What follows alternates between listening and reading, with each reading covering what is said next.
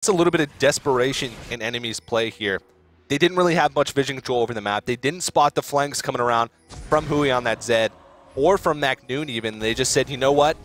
We might as well just try and go for this mid turret, and it He's ended up being not a great Wolf idea. as well. Oh, oh he's- my Oh, goodness! He gets the Zhonya's off just in time, and they pop Huhi, but man, these are so back and forth, even with the solo kills now. So a, a bit of a mistake from Fusion's mid laner, but it was a very close thing. The Zhonya's will be down. Wolf can't get involved in this Dragon, so it's still effectively a 4 for 4, and it looks like Fusion's going to try to start this one up. They do have the Baron buff, but a 4v5 is hard nonetheless, no matter how far ahead you are Oh, in they're going to pick it off, though. They're going to find this fight. And Nori, he could go down. He's been melting. They squish the bug. Once again, MaKNooN in the front. Where's Wolf? Body drop. He's pretty low as well. Wolf is running as fast as he can to get back to this one, but it might be too late. It's a double kill for MaKNooN again. I feel like I'm repeating myself every single time here. Otter, he could go down. Triple kill for MaKNooN on the bottom, and they're going for more. And the Entonso is going to pick that one He's up. going for the it's quadra. only Wolf. MaKNooN wants it. He's going to go for it. One more got it. and he does it. The quadra kill for MaKNooN, and then